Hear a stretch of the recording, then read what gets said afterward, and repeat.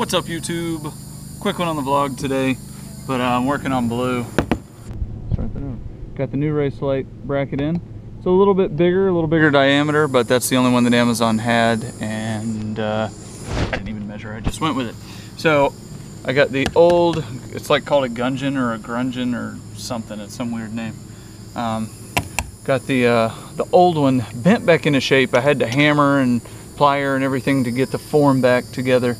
Um, got that installed with one new screw because that one wasn't holding to the wood behind it. Now I'm going to attempt to uh, screw this one onto here and hope that holds. I was going to do some bolts all the way through, but the board under there should be good, so I'm going to try that. So now I found out that wood that is behind on the inside of the transom there is totally rotten. So I'm going to have to chisel it out and start over.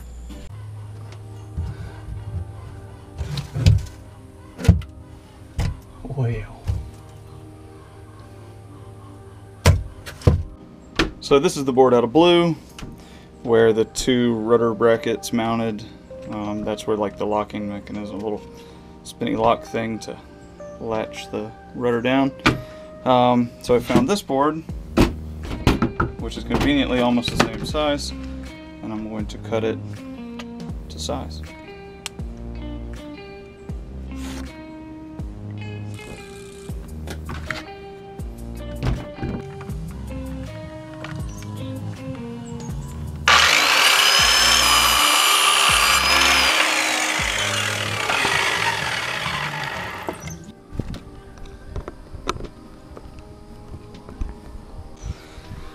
Okay, Aaliyah's holding that solid. I'm going to screw it in from this side. Are you holding tight?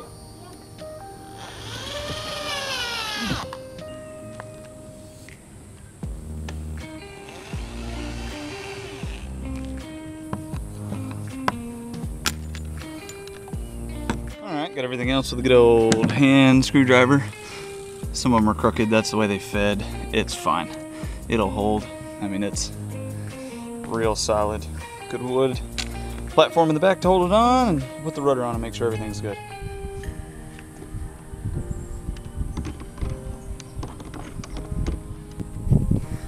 With this bigger bracket, that is barely enough to keep that on. I'm gonna have to take this off and put a washer in there space it out a little more. All right, spaced out a little bit.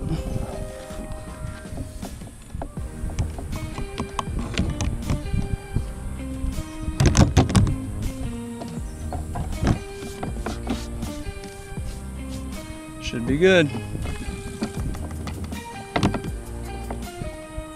Blue's all ready to go, ready to hit the water again. And the real reason for doing all this is because this winter we'd like to do some of the racing with the Eustis Yacht Club, uh, sailboat club.